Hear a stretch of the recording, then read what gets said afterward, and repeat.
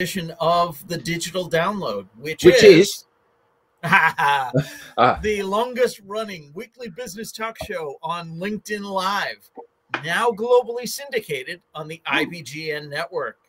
You you, you got Okay. your intro patter right, but we forgot a joke, didn't we? Well, well, well, we Well, I. I, Ah. I, I do have one prepared. We, we can't. No, don't break- worry. It's too late now. Have at You- it. That ship sailed. that, that ship sailed. Well, Yeah. you know, I, I was flustered. We started a little bit late. Sorry about that. Yeah. Uh, But did, but did If but, you but could- but honestly though, did you hear about the first restaurant that opened on the moon? first restaurant that opened on the moon. No. No, I The didn't. The food was fantastic, but there was no atmosphere. I thought you were going to say it was out of this world. Oh, great. Sorry.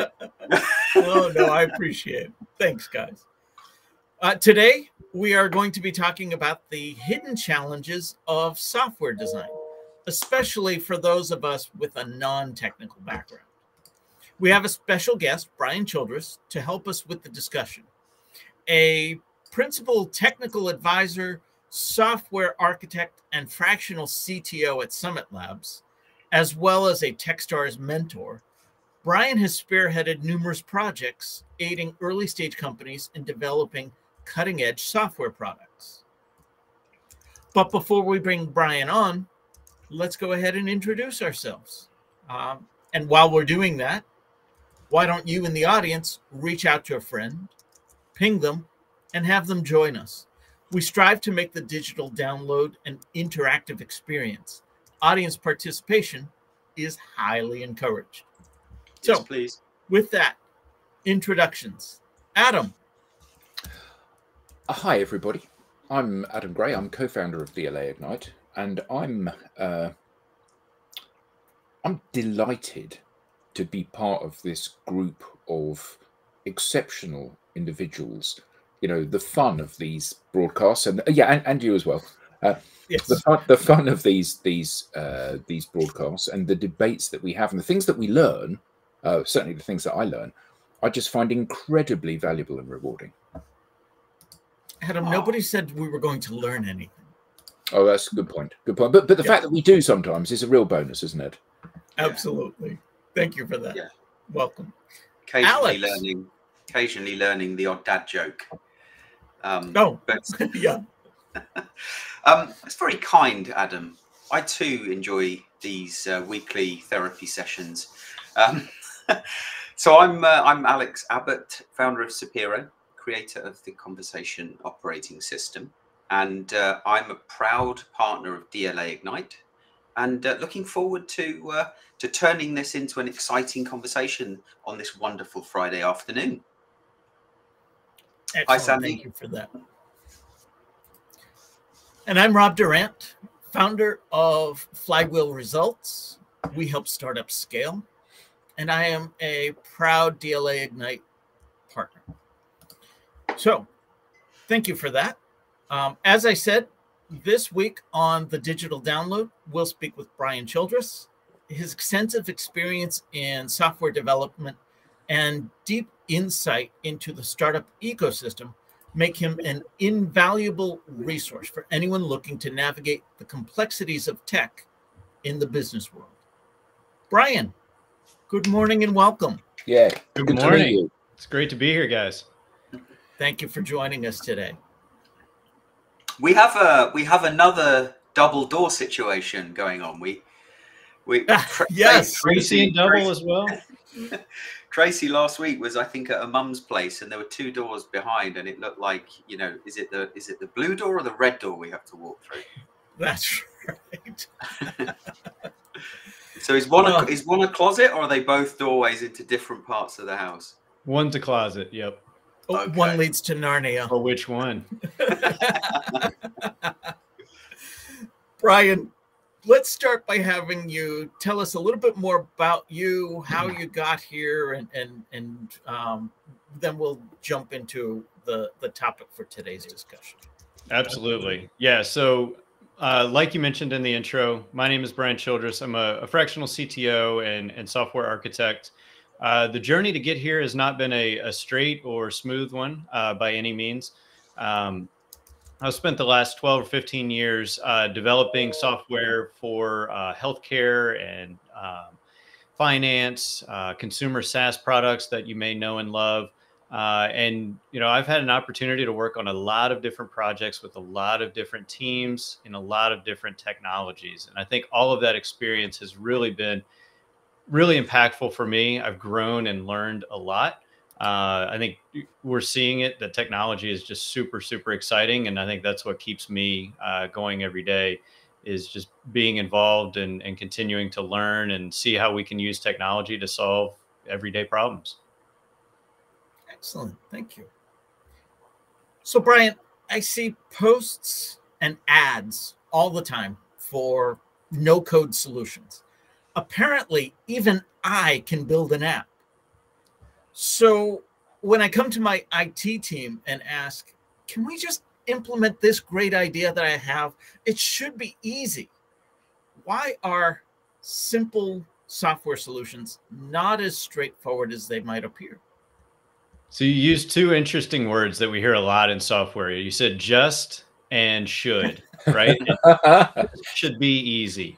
Uh, and unfortunately, it's not. You know, those are true four letter words in the software industry because there's a lot of complexity that goes into those solutions. There's a lot of concerns depending on the business or the industry that you're operating in around the type of data and where the data lives and who has access to certain types of data. What type of functionality do we need? Um, you know, how many users are going to be on the system and, and at what times and all of those things kind of come into play for what is the solution that we're looking to do. And I think a lot of businesses struggle from that same sort of thing. I've certainly been in organizations where the IT team would say, oh, well, that's going to take six months for us to even have time to consider um, what's, uh, you know, how long it's going to take and it's a real challenge. And so what we see a lot of times is other members in the organization will build software solutions you know typically on excel or you know for those of us uh, that remember you know microsoft access and some of those platforms um, you know it's really really interesting uh, how those tend to evolve. Um, access wasn't uh, wasn't access joining the... us a little bit late to the party we have uh, Tim Sorry, I'm late. jumping in. Tim, good morning and welcome. Hi, Brian. How you doing? No worries. Tim, good morning. Good morning. So, wasn't Access so, the uh, the tool that you used when Excel ran out of space?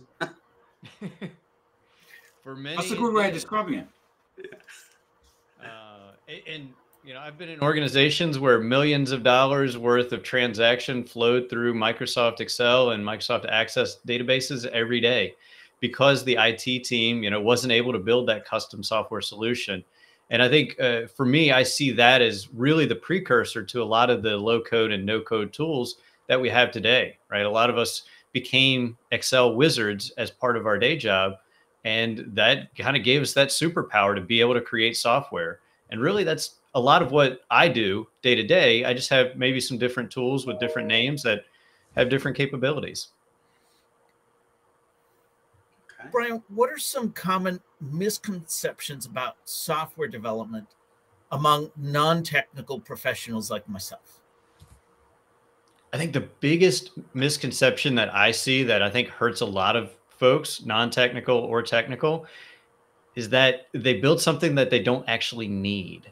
Uh, and to give you a little bit of background here, so what I when I work with founders and, and folks uh, in different teams, and they have this idea, right? I have this fantastic idea, and I need an app for that.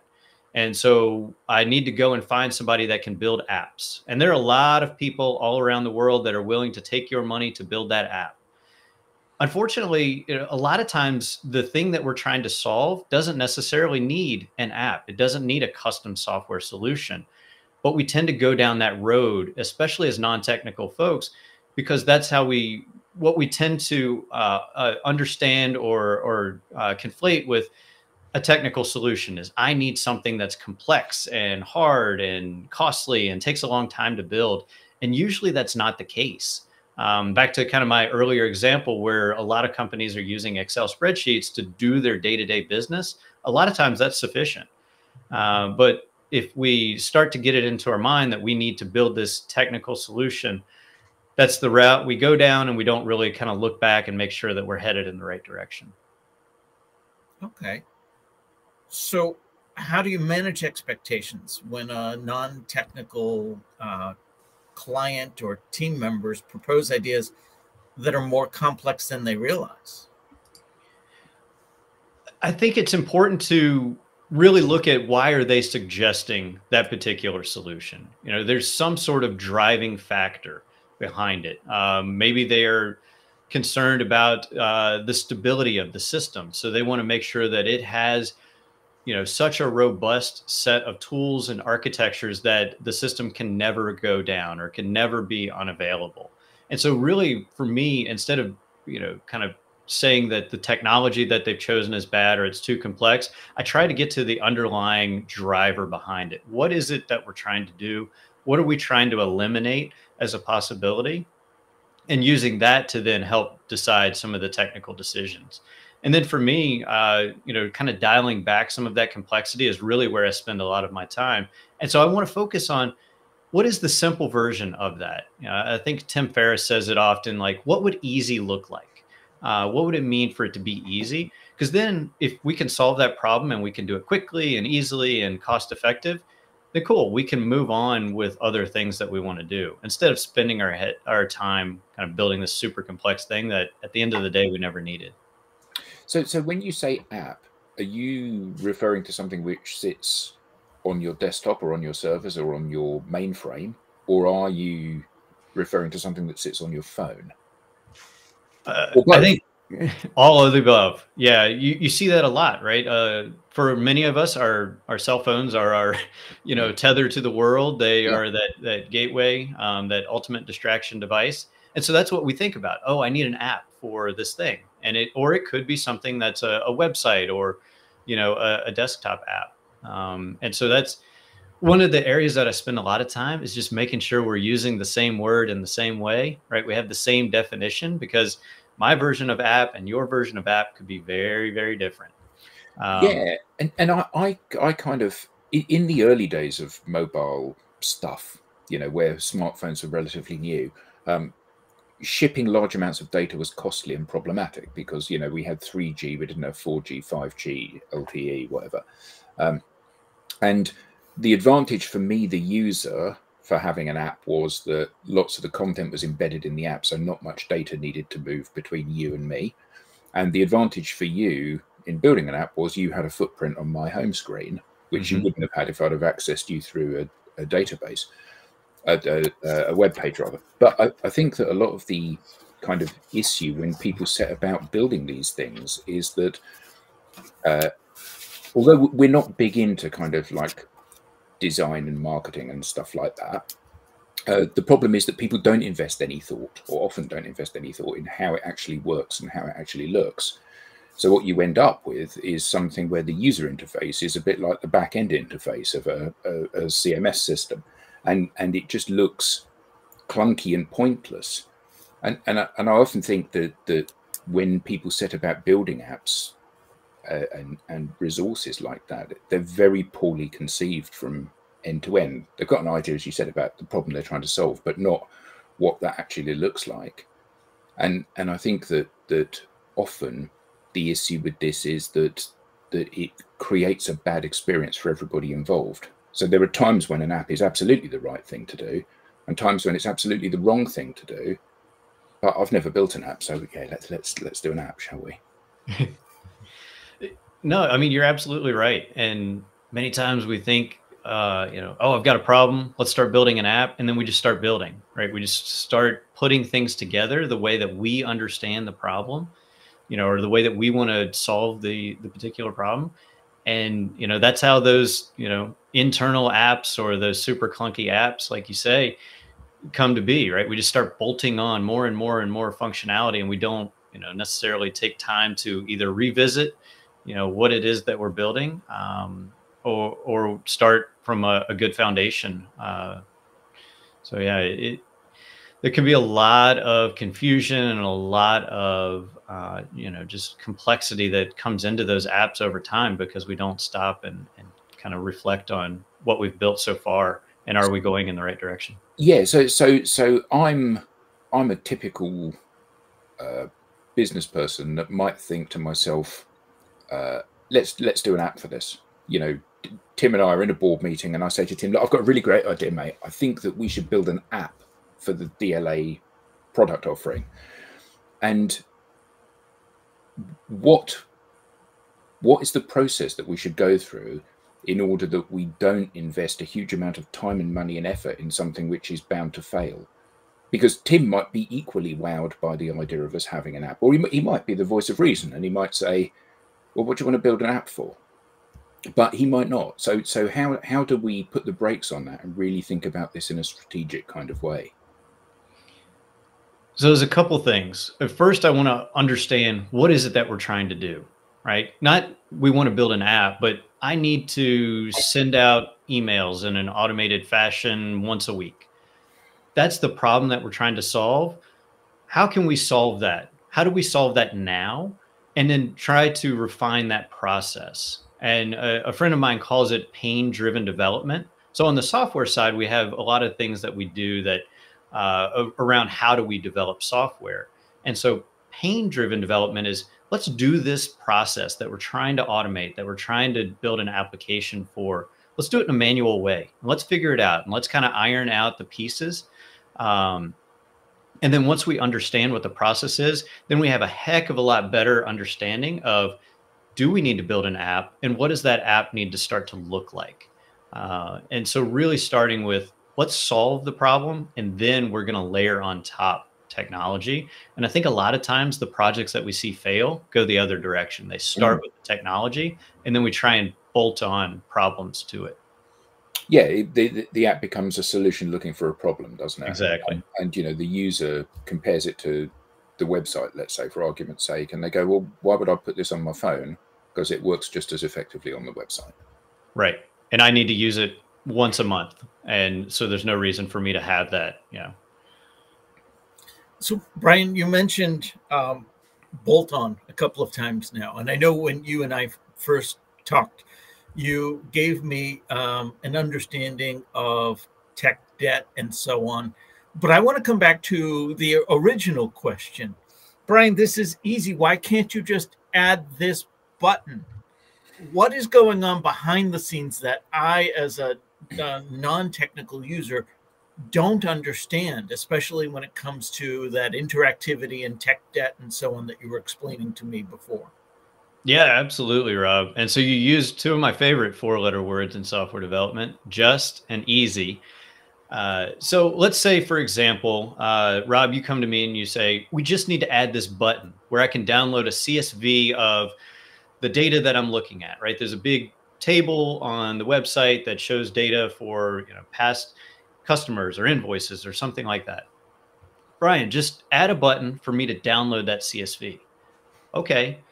So as a you know someone that may not be familiar with the the technology or with the solution that we already have in place some of the the technology decisions that kind of got us to where we are that adding that button could be you know potentially a six week endeavor.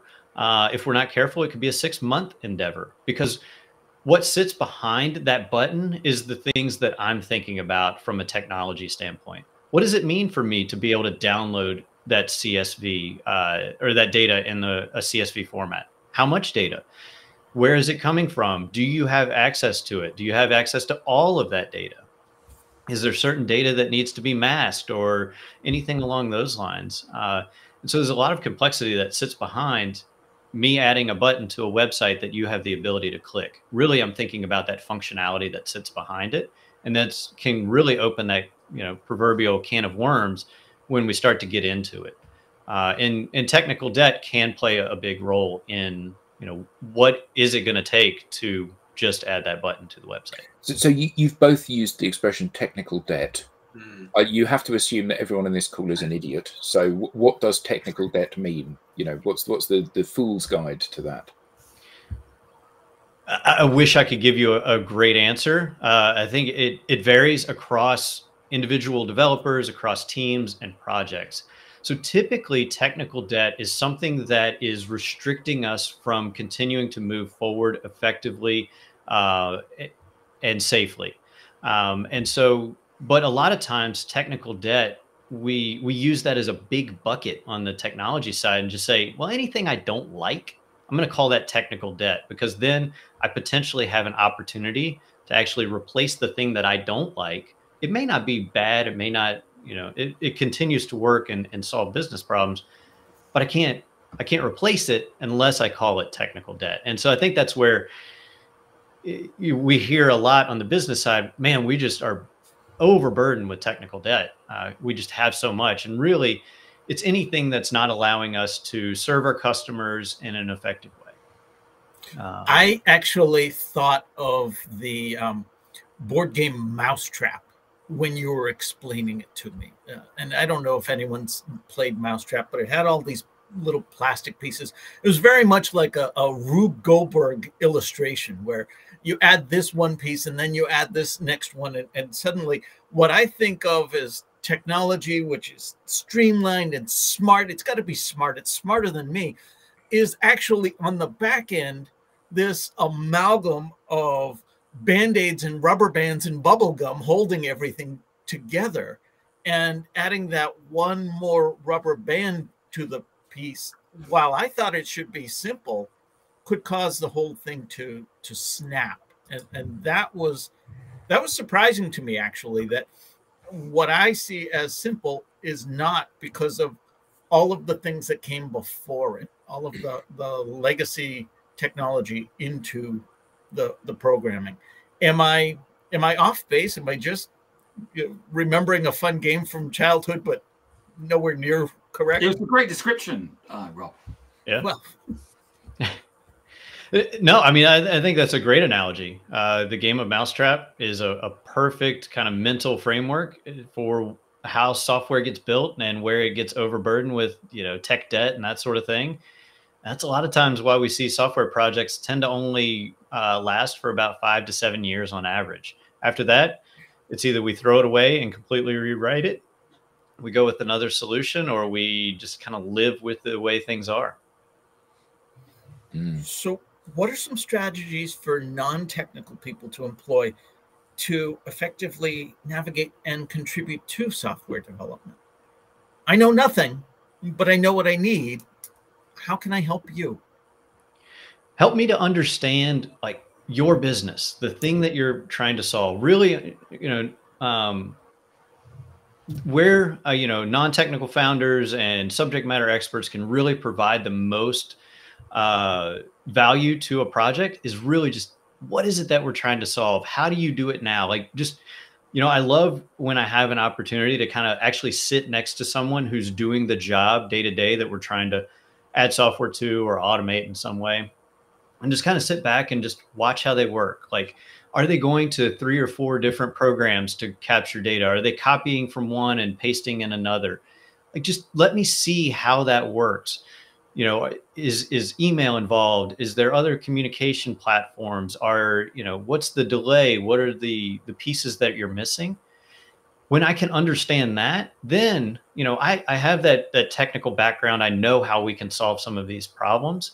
Then we can start to just layer on technology when and where it makes sense um, so really you know i encourage folks to just tell me what you do day to day where are your pain points because uh, again, back to those definitions. Like when you say you want something, let's say in real time, your definition of real time and mine as a technologist are completely different.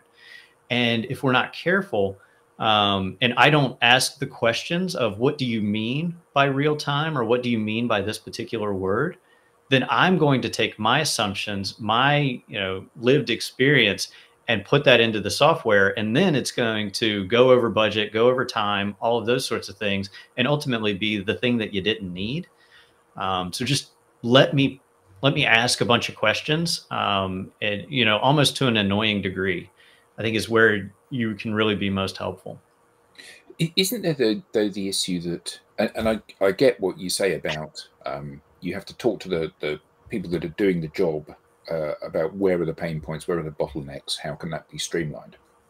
I think a, a, a potential challenge though that I see in that is that uh, people don't know, and and by that I mean they they don't know what can be changed and what can't be changed.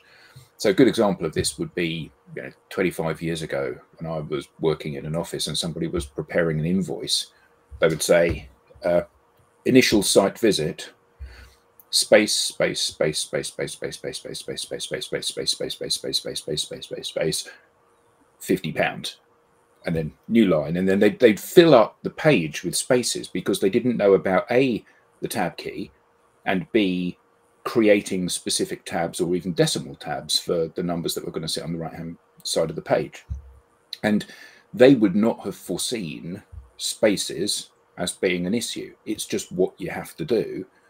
And it's only you as the expert that can look at it and say, well, actually, you can save 500 keystrokes in every single one of these that you ever produce by, by learning this technique. And I, I think that to a certain extent, um, we, particularly in such a fast paced industry, you know, we as a business are on the periphery of that industry. We help people in that industry, but we're not actually coders and whatever. And the issue with that is that we don't know what's possible and what isn't. So how, how do you kind of help open people's eyes to what, what that utopian view of perfection could be? I think as technologists, a big part of my role is that education. And for you know technologists, the, the stereotypical, you know, we just want to sit in our you know dark rooms with our hoodies and, and code all day.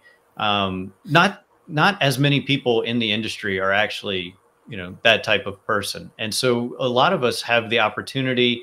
And I you know I think it's it's really in large part part of our job to understand how can we work with folks that may not also be technologists and helping them to understand some of those capabilities, some of those possibilities.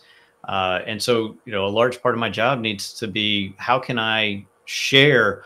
Oh, here's an exciting thing. We have all of this internal data within our business, or we have this regular process that I see you doing, and it's taking you 15 minutes to put together.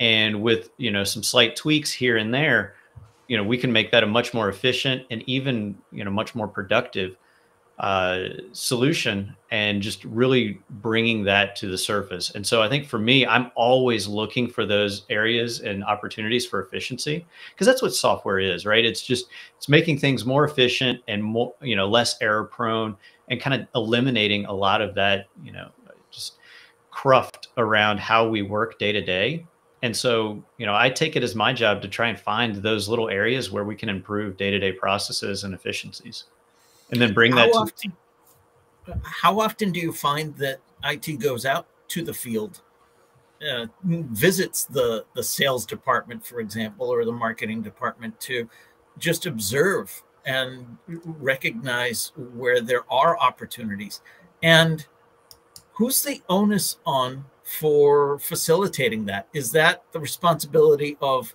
marketing, for example, to reach out to IT and say, please come by and observe? Is that IT's responsibility to say, hey, we're going to regularly go out and, and meet with you to, to watch what you're doing?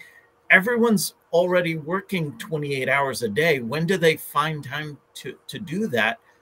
What should be done in that regard? It's to answer your first question, Rob, no, they don't go out enough, right? It, a lot of times, you know, there's either a, a, physical wall or a virtual wall where, okay, IT, stay over here and, and do your IT things. And then the rest of the company is going to be over here, you know, making enough money to pay for you guys to do whatever it is you do. And I think what we're seeing, and I hope that we continue to see in the industry, is there's more of a shift where those – software engineers and the IT folks are coming out and working directly with business stakeholders and really having those conversations early and often. Um, and I, I think really for me on from my perspective, the onus is on me as a technologist to go out and find those areas of efficiency, find those opportunities where instead of all of us working 28 hours, maybe we can reduce that down to 23 hours that we're all working because I know what we can do with software let me show you ways that we can improve your workflow. And you know, it it may be something very very small and simple for me from my perspective, but for you that could change everything, right? That could bring 2 days back into every month that you know, that's now available for you to do other things. And what about the communication gap? We've just in this conversation used words differently. And kudos to you for recognizing when my definition of uh, real time and your definition of real time were two completely different things. But how do we uh, go about intentionally um, defining these things without seeming to, to talk down to the other party? That's a really, really tough one. It really is. Um, and both being the one presenting information and the one receiving information, I think we have to really come into the conversation with the expectation that, hey, we're all trying to row in the same direction. We're all trying to solve the same problem and, and serve our customers the best that we can. And so I think it's really important to kind of come into the conversation, you know, with our guards down a little bit and just open to receiving that type of information. Um, and for me, I, I, like to be the dumbest one in the room. I like to ask the questions that I, you know, I may know the answer to, but I want to make sure that the folks that may not feel comfortable asking the questions will at least hear the answer. And so when we throw around a lot of terms or TLAs, three letter acronyms, and we assume that, oh, well, you know, everyone in this room, virtual or, or physical room, knows what that means, right? Because we've all been in the same industry. No, we haven't. We don't all have that same experience. And so, you know, I, I, I will be the one that will take that hit to my ego or whatever it may be to ask those questions so that I know that we're you know, hopefully on the same page. Um, it, it's it's important to just kind of put herself out there and be willing to ask those questions for clarity, um, because you know, taking being willing to do that versus uh, you know potentially going down a completely wrong path, costing us a ton of time and money because we weren't willing to ask that. Hey, what did you mean by real time, Rob? Type of question. And and Rob, Rob. Yes. It's okay to talk down to people. is it really, Alan? Adam, is, is it really? Andy. oh, man. Uh, so, uh, Brian, how do you balance pushing for innovative solutions while keeping projects practical and grounded in business realities on, on both sides of, of that equation, really? how, from a technical point of view, would you do that? And then maybe give some insights for a non technical person pushing, advocating for their side of it. As far as like continuing to really because at the end of the day what we're trying to do is to solve business problems right in order for the business to be successful we're trying to bring in automation and software and technology and when the business is successful, you can continue to pay my big fancy software engineering salary. And so it's we have to really focus on solving those problems. Um, and I, I, really want to make sure that we uh, are also innovating. And so that's where, as technologists, again, kind of part of my job is to see where those new and evolving technologies are going. What is coming out in the industry? And then, you know, I treat it like an engineering problem. How can I bring we'll use the the um, the technology of the the year here, AI. How can I bring AI into my organization? Right? There's a lot of things that we may be able to streamline or improve by bringing that technology into the organization. Now we have to be very careful because some of those leading edge and bleeding edge technologies, as fast as they come into existence, they can also go away. And so we have to be very careful about what we bring into the organization and what we kind of build our business on top of or our business processes. Uh, so it's it's a very very delicate balance, um, but it always has to go back to what is the problem that we're solving for the business, and are we doing that in the best most efficient way? Uh, if it's going to take me six months to implement something that's clunky, then I didn't do my job. Uh, and so I take a lot of ownership as a technologist to make sure that we're you know pushing uh, in the right direction. And what about pushing back? Uh, what about the non-technologist that comes to you and says, uh, "Brian, uh, AI is everywhere in sales. My sales team needs more AI. Um, can you get us some AI, please? As though you were walking just down the grocery shelves and on the cereal aisle. Oh, you know, let me add this to, to the An AI that prevents cart. me from spilling my tea on my desk. Right? Yeah, well. oh, it's it's coming. It's uh, you know, it'll be out next year. Uh, there's a lot of um,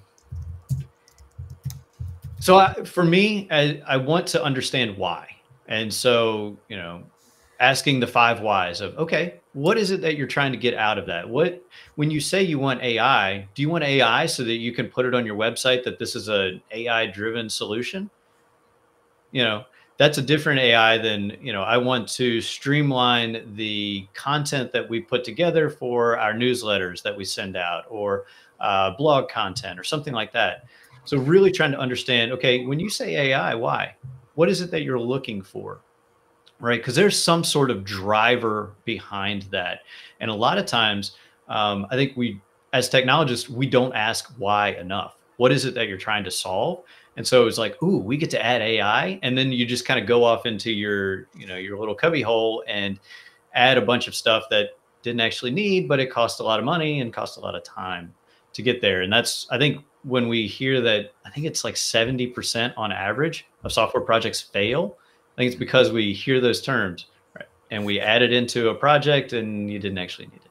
We heard the same thing, I don't know, seven, eight years ago with blockchain. Everything needed blockchain. Nothing needed blockchain at that time, right? There were very specific use cases that it, where it made sense, but there were a lot of projects that added it just because it was new and shiny. You said 70% fail? Yeah. Um, I, am surprised it's so low, frankly. Depending no, on, I'm which, actually know, surprised it's so high because I worked for an enterprise level organization that was regularly rolling out this software development and that software development, and not a one of them failed. Now, we stopped using them within a month of training, but they were complete successes. Just ask the IT team and the, the project sponsor. I guess your uh, definition of success and mine might be a little bit different, Rob. that, that, that, could be. But I, I so, think I think that there's a very real risk that that development of bespoke software um, enhances the problem rather than the solution. So you spoke earlier, Brian, about uh, email marketing automation and stuff like that. That'd be a great example of this. So, um, and we're seeing it at the moment with the advent of AI helping people to rewrite things and create more effective, I use the word in quotes, more effective scripts. Um, and the problem is one of an overwhelm that everybody gets from this kind of communication. Uh, you know, we we all are looking for a solution, but the solution is one of how do we stop this influx of of email that we get because it's an interruption to to all of us and often you know uh, your idea of you know you've you've you've commissioned this tool which is going to enable you to send more emails that are more targeted and then you start to do that and then alex says well actually brian's got this great idea and he's sending out more emails now and they're more targeted so i need to have that as well and then tim decides he needs to have it and then rob decides he needs to have it so now the problem is that i'm receiving four times as much email and actually, the problem was never how many emails you send out. The problem was that the people don't know who you are, so they never consume the emails. And you know, I, I think we see that time and time again. Where um, so we've we've had a, a, a clinical psychologist on this show, and she said humans are hardwired to be lazy. Mm-hmm. You know, if if it's easy for you to to walk the short route rather than the long route, you'll walk the short route. And I think that often you know things are commissioned as a shortcut you know a silver bullet a magic button an easy button that will make everything work more effectively and uh, many times it just enhances the issue doesn't it oh absolutely yeah so now if i'm receiving four times more email then i'm just going to use the ai to filter out those emails that i'm not reading right Uh, so I'm using one tool to fight the other. But no, you're absolutely right. So, so, so how, how do you balance those two things? Because, and, and, and I know that, uh, you know, the challenge that every company faces. So, you know, if you think about your company, uh, so you help organizations make, uh, uh, develop software to solve specific issues. The more of those you sell, the more organization, the more you're able to build people. That means your company is more successful. I'm saying your company, but this is true of every organization out there. Um, and your issue is not whether or not this compounds the problem. Your issue is that you're now selling more stuff, and that's the same for Alex. That's that's commissioned his his email marketing automation. The thing is, he's got the jump on Tim and Rob. So the great news is that he gets a 15% uplift in sales only for the next three months, and then after that, the problem is compounded because he's got this expensive tool that's not now generating any re any revenue because everybody's got the same thing and it hmm. isn't part of the issue that that uh, it's very easy to copy stuff. It's very easy for me to look at what you're doing and and develop something which is broadly similar. And in fact, standing on the shoulders of giants and all that maybe even better than the product that I'm copying. Um, and whether it compounds the problem is actually not a concern of mine. What is a concern of mine is am I going to get paid this month? Hmm. There's um, so listening to you talk about uh, you know, marketing automation. Let's let's let's say the Martech umbrella.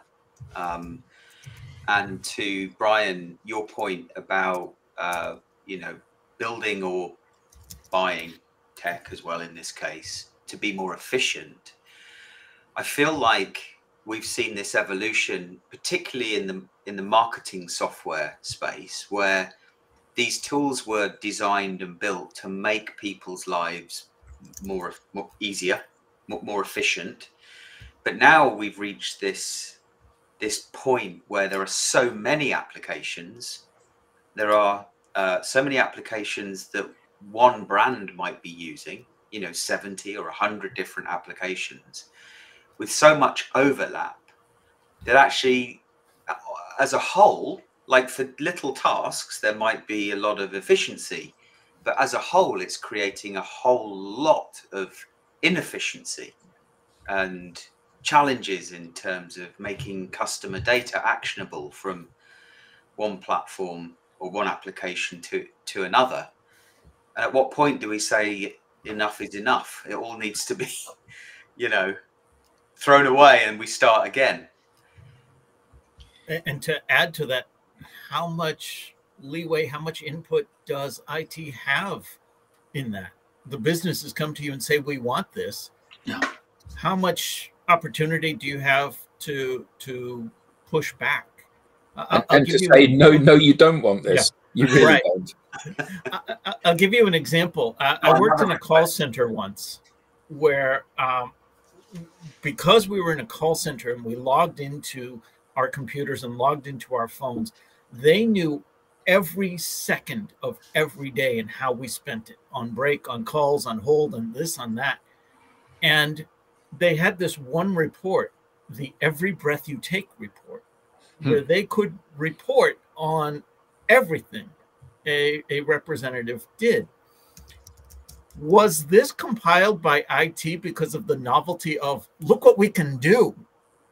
And and you know sometimes I think there, there's that novelty aspect in IT and development, and versus was it built because the business team went to them and said, "We need this," and, and IT said, "Yeah, we can do this." Not well. What are you going to use it for? I mean, the the lesson for me with that report was just because you can measure something, or in IT and novelty, just because you can do something, doesn't mean you should if you're not going to act on it, if you can't apply it. So I come back to how much leeway, how much pushback does IT have? How much say do you have in that process? Or are you just tasked with executing? Unfortunately, I think the norm, Rob, is that we don't have a lot of say. Uh, in my experience, those, you know, some of those scenarios, there's been someone else in the organization that said, Hey, I think we have a problem, or Hey, if I bring in a solution, I might get promoted.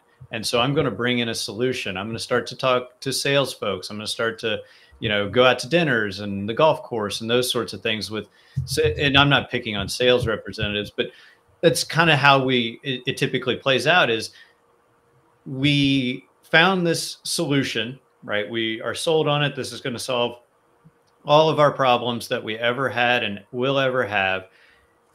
And we've allocated budget and we've signed the contracts. Hey, IT, install this and do it as soon as you can. Usually it's at that point in the conversation that IT comes in. It's like, what?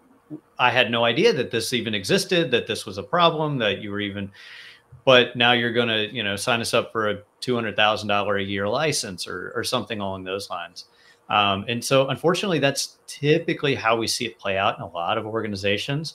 Now, I am seeing it shift a little bit in the industry because we are seeing, you know, how that doesn't necessarily play well. Um, and then for me, I again, uh, as part of my job, I need to try and find ways to make friends with those decision makers, those folks that are really you know, early on in that process, I really kind of want to understand it so that I can kind of keep my ear to the ground, if you will, and and see where things are going. And when I can do that, then hopefully, you know, maybe I can help steer us in the right direction. And a lot of that is is leadership and communication and has nothing to do with technology at the end of the day. So you coach um, startups as well through TechStars, I believe you mentor. Um, when what are some common misperceptions you've encountered about software development, specifically with startups, and how do you uh, address them? Sometimes from a technical startup point of view, but I'm thinking more so the the non-technical startup when they think, oh, there's just an easy button that can be done.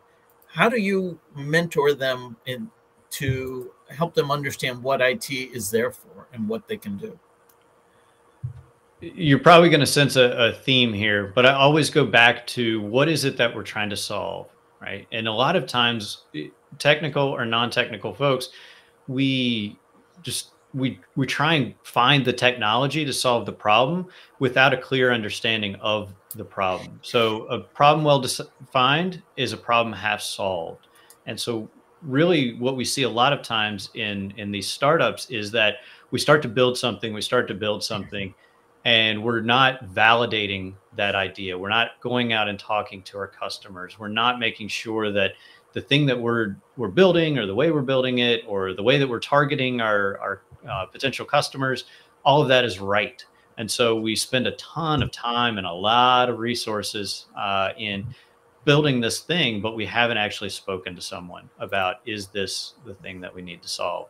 And so I spend a lot of time with uh, my founders in just making sure that we're headed in the right direction.